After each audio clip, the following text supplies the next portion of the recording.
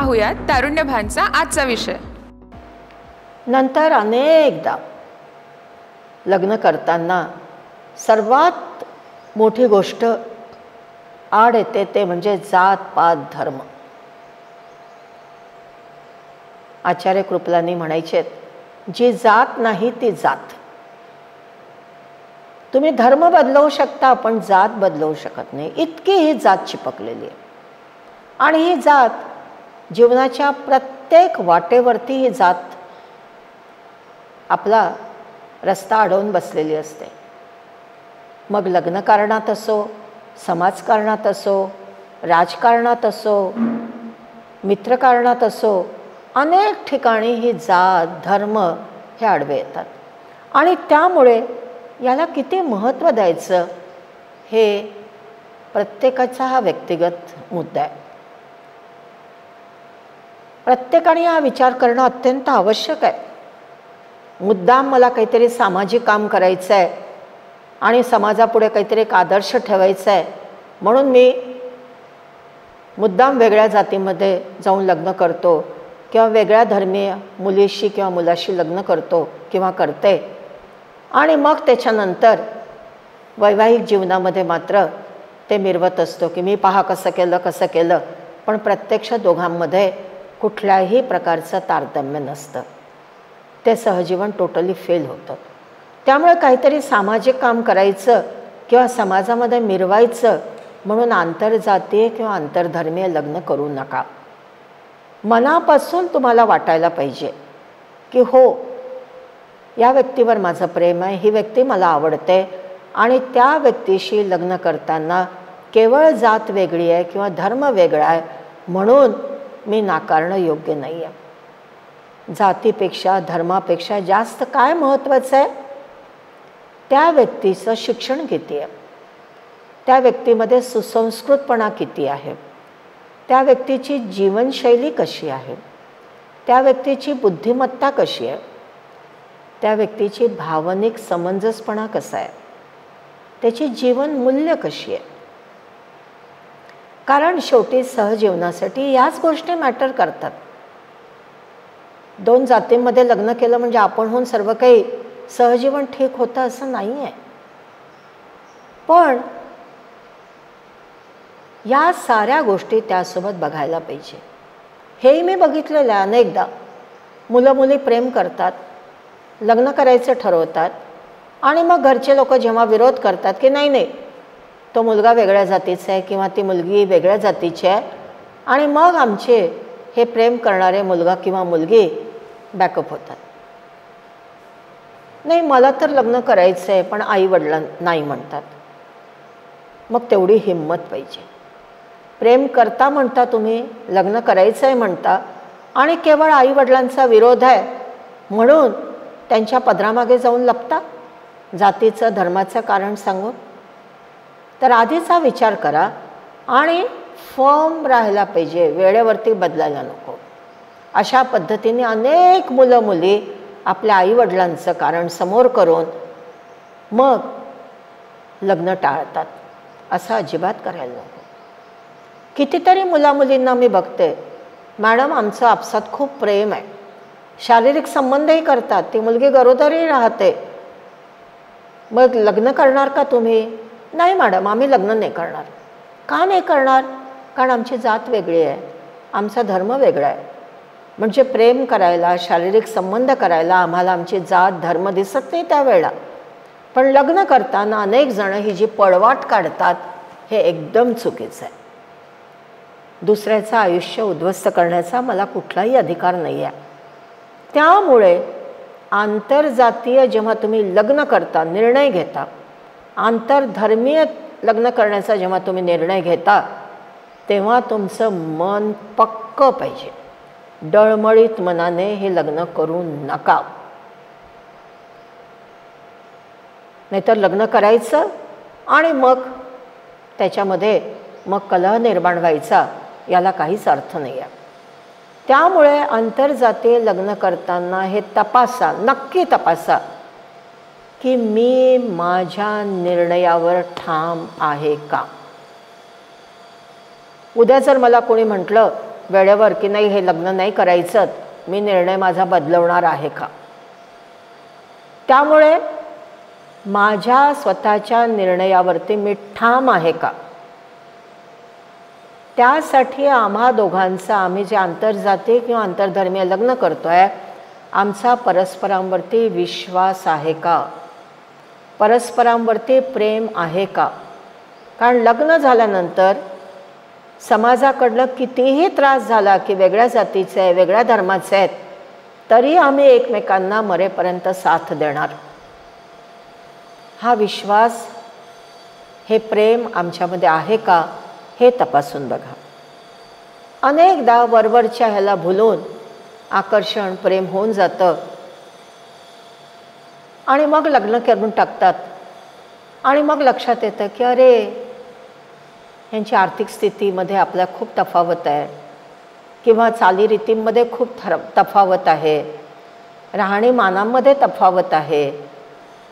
साध्या खाण्याच्या सवयींमध्ये तफावत आहे. एखाद्या धर्माच्या मुलीला अजिबात नॉनव्हेज चालत नाही. आणि मुलगा नॉनव्हेज खातो. मग त्या मुलीला ते चालणार आहे का? घरामध्ये आपल्या नवऱ्याने नॉनव्हेज खाणं किंवा नवऱ्याची अपेक्षा असेल तर एखाद्या वेळेला तिने नॉनव्हेज शिजवणं. तर या गोष्टीचा खूप विचार करावा लागतो. कारण मग लग्न झाल्यानंतर मग अरे हे नाही जमत ते नाही जमत ते नाही जमत. मला माहितीच नव्हतं किंवा मला आधी खोटंच सांगितलं. आधी याच्या आर्थिक विषयी स्थितीविषयी मला चुकीची माहिती दिली. घरच्याविषयी चुकीची माहिती दिली नाही. त्यामुळे नुसतं वरवर वरवर पाहून लग्न करू नका. विशेषतः आंतरजातीय आंतरधर्मीय लग्नामध्ये या साऱ्या गोष्टी अत्यंत महत्त्वाच्या आहेत. आणि मग लग्न झाल्यानंतर माझी तडजोड करण्याची तयारी आहे का? आणि ही तडजोड केवळ मुलीच्या बाजूने नाही अनेकदा अशी अपेक्षा असते. की आंतरजातीय लग्न झालं मग त्या मुलीने आमच्या जातीच्या ज्या परंपरा आहेत त्याच पाळल्या पाहिजेत. आंतरधर्मीय लग्न झालं मग त्या मुलीने माझ्यासाठी धर्म बदलला पाहिजे. अशी उदाहरणं मी पाहिलेली आहेत. माझ्या मैत्रिणीचं मी उदाहरण आहे. की त्या मुलाने तो इतका मॅच्युअर होता की त्या मुलाने त्या मुलीसाठी कारण त्याचं खरंच इतकं प्रेम होतं तर तो म्हणाला की मी धर्म बदलेन कारण त्या मुलीच्या आईची इच्छा होती. या मुलाने धर्म बदलवला तरच माझ्या मुलीला मी त्याच्याशी लग्नाची परवानगी देईन. आणि त्या मुलाने आपला धर्म बदलवला. पण अशी फार कमी उदाहरणं असतात. बहुतेकदा अपेक्षा ही मुलीकडनं असते. आणि त्यामुळे लग्न करण्याच्या आधी जेव्हा आपण असा जोडीदार निवडतो तेव्हा या साऱ्या गोष्टींविषयी खूप तपशीलवार चर्चा व्हायला पाहिजे विचार व्हायला पाहिजे पूर्ण मनाची तयारी पाहिजे घाई गडबडीने काहीतरी एक रोमॅन्टिक स्वप्न आहे म्हणून लग्न करू नका. आणि लक्षात घ्या असे लग्न झाल्यानंतर समाजामध्ये वावरताना दोन्हीकडच्या कुटुंबांना फेस करताना अनेक अडचणी येऊ शकतात. आपल्या समाजाच्या दृष्टीने मुलामुलीने प्रेमात पडणं म्हणजे चोरीसारखा गुन्हा आहे. दुसऱ्या जातीत लग्न करणं म्हणजे दरोड्याचा गुन्हा. आहे आणि दुसऱ्या धर्मात लग्न करणं म्हणजे बापरे खुनाचाच गुन्हा आहे. इतका गंभीर गुन्हा आमच्या मुलांनी केला असं पालकांनाही वाटतं आणि समाजालाही वाटतं. आणि त्यामुळे हे पतीपत्नीचं नातं सहजीवनाचं नातं निभावताना तुम्हाला या साऱ्या गोष्टींचा विचार करणं आवश्यक आहे. आणि केवळ तुमच्यापुरतीच विचार करून चालणार नाही आहे तुमच्या भावी पिढीचा तुम्हाला विचार करायचा. मग आमच्या मुलांची जात काय? आमच्या मुलांचा धर्म काय? आता समजा माझा आंतरजातीय विवाह आहे. आहेच म्हणजे समजा काय आहेच. माझ्या आईवडील ब्राह्मण होते. मी ब्राह्मण कुटुंबातून आली. आणि माझा नवरा मारवाडी कुटुंबातला आहे. आणि आम्हाला दोन मुलं आहेत. मग आमच्या मुलांची जात काय? मी जेव्हा हा प्रश्न विचारते तेव्हा अनेक जणं मला म्हणतात तरुण मुलं मुली मॅडम तुमच्या मुलांची जात मारवाडी. कारण काय? कारण वडील मारवाडी. वडिलांचं नाव मुलं लावतात म्हणून त्यांची जात मारवाडी. पण मी तुम्हा मुला मुलींना प्रश्न विचारेन की माझी मुलं जेव्हा जन्माला आली तर मी आई आहे. त्यामुळे पन्नास टक्के त्यांचे जे जीन्स आहेत ते आईकडून आलेले आहेत. नऊ महिने गरोदरपण बाळणपण बाळाला दूध पाजणं हे मी केलेलं आहे. मग आईचा ह्याच्यामध्ये कुठेच विचार नाही का? मग आपण म्हणू शकतो की असे जे लग्न होतात आमच्या मुलांना जर तुम्ही विचारलं की तुमची जात कोणती? तर ते सांगतील आमची जात मानव जात आहे. ना ही जात ना ती जात. आमची मानव जात आहे. आणि कोणतीही जात वरची खालची असा भेदभाव खरं म्हणजे आपल्या समाजात व्हायला नको. पण इतकं हे जाती भेद आपल्या समाजात आहे आणि ही जातीची परंपरा जर आपल्याला मोडायची असेल मगा ते मी जे म्हटलं की तुम्ही ज्या जाती जन्माला येतात ती जात तुम्हाला चिपकते. तुम्हाला ती अशी झटकून टाकता येत नाही. धर्मासारखी ती बदलवता येत नाही. पण आंतरजातीय विवाह जर केला तर जी मुलं जन्माला येतात मिश्र जातीची जी मुलं जन्माला येतात त्यांची जात मानव जात असते. त्यामुळे जातीप्रथेच्या ह्या ज्या शृंखला आपल्याला तोडायच्या असतील तर आंतरजातीय विवाह हा त्याच्यावरचा खूप चांगला मार्ग. आहे पण म्हणून मी ज्या आधी सुरुवातीला म्हटलं की मला जातपात प्रथा बंद करायची आहे तोडायची आहे म्हणून मी तो मुलगा किंवा मुलगी माझ्याशी बरोबर मॅच करतो किंवा नाही हे मी न बघता केवळ समाजकार्य करायचं आहे म्हणून मी वेगळ्या जाती धर्मात लग्न करेन असं मात्र करू नका. अजिबात करू नका. पण जातीभेद धर्मभेद हे मात्र तोडायलाच पाहिजे. आपल्या सर्वांचं रक्त सारखंच आहे. आता विज्ञानाने प्रगती केलेली आहे आणि त्यामुळे आता सारं जग एकत्र झालेलं आहे. आपल्या प्रसिद्ध संतांनी संत विनोबा भावे यांनी तर जय जगतचा नारा पूर्वी दिला होता. आता ग्लोबलायझेशनमुळे जग जवळ आलेलं आहे. त्यांनी पूर्वीच्या काळात जय जगतचा नारा दिला होता. पण तरीसुद्धा अजून आपण माणसा माणसांमध्ये जात पात धर्माच्या आधारावरती जर आपण भेद करत असू तर ते चुकीचं आहे. पण शेवटी लग्न करण्याचा निर्णय हा व्यक्तिगत निर्णय असतो आणि त्यामुळे तो निर्णय विचारपूर्वक केला पाहिजे आणि वेगळ्या जातीमध्ये वेगळ्या धर्मामध्ये जर लग्न केलं असेल स्वागत आहे.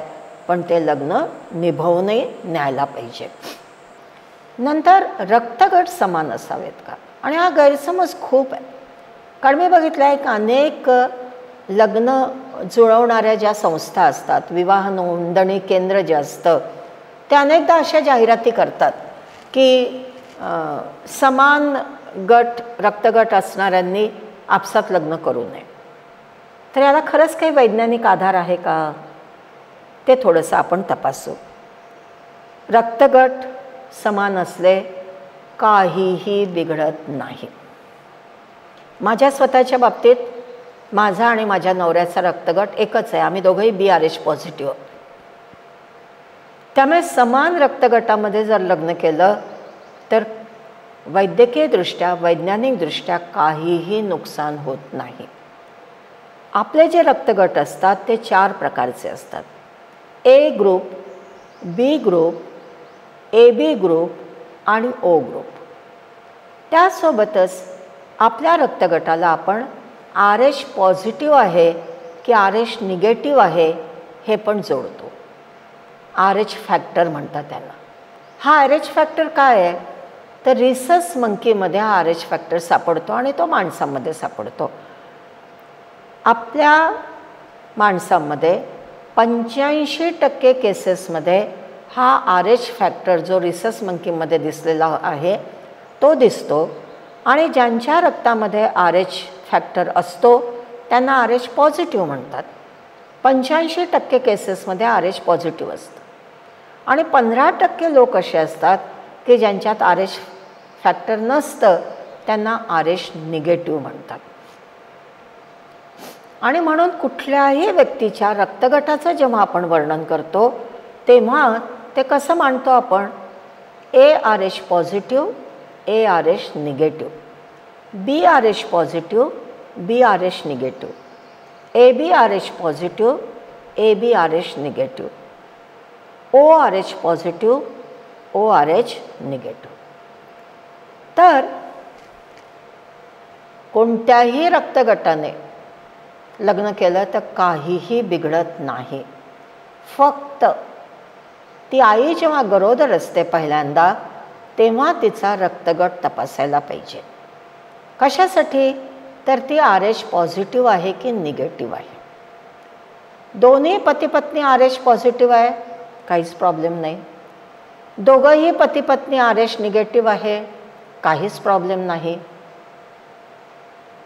त्यांच्यापैकी पत्नी आर एच पॉझिटिव्ह आहे आणि पती आर एच निगेटिव्ह आहे. तरी काही प्रॉब्लेम नाही. पण पत्नी आर एच निगेटिव्ह आहे आणि पती जर आर एच पॉझिटिव्ह असेल तर गंमत काय होते? की ज्या वेळेला ती गरोदर राहते तेव्हा तिचं होणारं मूल आर एच पॉझिटिव्हही असू शकतं आर एच निगेटिव्ह पण असू शकतं. आई आर एच निगेटिव्ह आहे आणि बाळ आरेश निगेटिव्ह आहे. काहीच प्रॉब्लेम नाही. पण समजा आई आरेश निगेटिव्ह आहे आणि ते बाळ जर आर पॉझिटिव्ह असेल तर बाळणपणाच्या वेळेला काय होतं?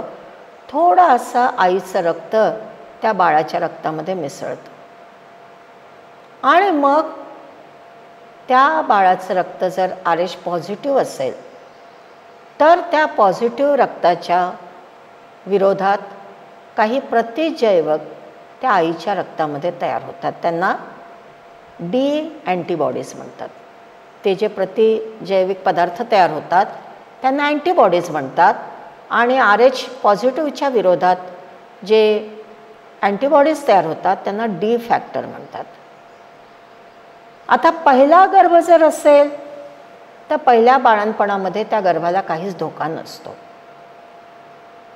पण दुसऱ्या वेळेला जेव्हा ती बाई गरोदर असते म्हणजे पहिल्या वेळेला ती आर एच निगेटिव्ह आहे आणि तिचं बाळ जर पहिला आर एच पॉझिटिव्ह असेल तर समजा काही केलं नाही तर मग काय होतं की दुसरा गर्भ जेव्हा आर एच पॉझिटिव्ह असतो तेव्हा आईच्या रक्तातले ते अँटी डी जे असतात ते जे डी घटक जो असतो ते डी घटक किंवा अँटीबॉडीज त्या बाळाच्या रक्तामध्ये जाऊन त्या बाळाला प्रॉब्लेम क्रिएट करतात.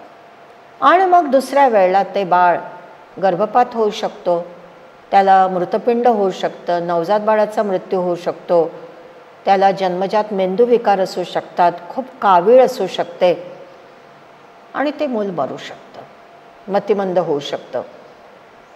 आणि म्हणून आजकाल तर बाळणपणे सारे दवाखान्यातच होतात. त्यामुळे गरोदरपणामध्ये आईचा रक्तगट तपासणं अत्यंत आवश्यक आहे. ती आर एच पॉझिटिव्ह आहे नवरा आर एच पॉझिटिव्ह आहे काही प्रॉब्लेम नाही. ती आर एच निगेटिव्ह आहे नवरा आर एच निगेटिव्ह आहे काही प्रॉब्लेम नाही. ती आर एच पॉझिटिव्ह आहे आणि नवरा आर एच निगेटिव्ह आहे काही प्रॉब्लेम नाही. पण समजा जर ती आई आर एच निगेटिव्ह असेल तर नवऱ्याचा रक्तगट तपासायला पाहिजे. आणि आई जर आर एच निगेटिव्ह आणि नवरा जर आर एच पॉझिटिव्ह आहे तर होणारं बाळ आर एच निगेटिव्ह असू शकतं पॉझिटिव्ह असू शकतं. निगेटिव्ह असेल तर काही प्रॉब्लेम नाही पण पॉझिटिव्ह असेल तर अँटी डी फॅक्टर आईच्या रक्तात तयार होतं. आणि म्हणून त्या बाळाला जन्म झाल्याबरोबर चोवीस ते अठ्ठेचाळीस तासामध्ये त्या बाळाचं रक्तगट तपासावं लागतं. निगेटिव्ह असेल तर काही धोका नाही. पण जर तो गर्भ पॉझिटिव्ह असेल ते बाळ पॉझिटिव्ह असेल तर ताबडतोब चोवीस ते अठ्ठेचाळीस तास मॅक्झिमम बहात्तर तासामध्ये त्या आईला अँटी डी नावाचं इंजेक्शन द्यावं लागतं. म्हणजे डी विरुद्ध जे अँटीबॉडीज तयार झालेले आहेत डी अँटीबॉडीज त्यांना नष्ट करण्यासाठी त्या आईच्या रक्तातले त्यांना तिला अँटी डी नावाचं इंजेक्शन द्यावं लागतं. साधारणपणे तीन चार हजार रुपयाचं ते इंजेक्शन असतं. सहज फार्मसीमध्ये उपलब्ध असतं. फक्त ते कोल्ड स्टोरेजमध्ये ठेवावं लागतं असं उघड्यावर ठेवावं लागत नाही. त्यामुळे हॉस्पिटलमध्ये बाळणपण करायचं ताबडतोब रक्तगट तपासायचा आधीपासूनच ती सोय करून ठेवायची.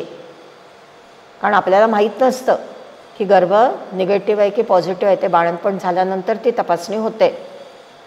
आणि जर बाळ आर एच पॉझिटिव्ह असेल तर ताबडतोब चोवीस ते अठ्ठेचाळीस तास जास्तीत जास्त बहात्तर तासात आईला त्या अँटी डीचं इंजेक्शन द्यावं लागतं. म्हणजे पुढच्या बाळणपणातल्या गर्भांना धोका होणार नाही. आता कधी कधी असं होतं की आईचा गर्भपात होतो. म्हणजे तीन चार पाच सहा महिन्याचा गर्भ पडून जातो. अशा वेळेला पुष्कळदा त्या गर्भाच्या रक्तगटाची तपासणी होत नाही. मग अशा वेळेला आम्ही डॉक्टर मंडळी काय करतो? आधीचा जर तिला आता गर्भपात झाला एखाद्या बाईचा तर आम्ही असं गृहीत धरतो की तो गर्भ आर एच पॉझिटिव्ह आहे. आई आर एच निगेटिव्ह आहे वडील आर एच पॉझिटिव्ह आहे त्या बाईचा गर्भपात झाला तरीसुद्धा त्या बाईला आम्ही चोवीस ते अठ्ठेचाळीस तासात अँटी डीचं इंजेक्शन देतो. आणि त्यामुळे मुलामुलींनो रक्तगट कोणताही असला तरी चालतं. आर एच निगेटिव्ह पॉझिटिव्ह असले पतीपत्नी तरीही चालतं. फक्त आई आर एच निगेटिव्ह आणि वडील पॉझिटिव्ह आहे तर मात्र ही अँटी डीच्या बाबतीतली काळजी घेणं आवश्यक आहे. तर भेटूया तारुण्यभानच्या पुढील भागात एका नवीन विषयासोबत.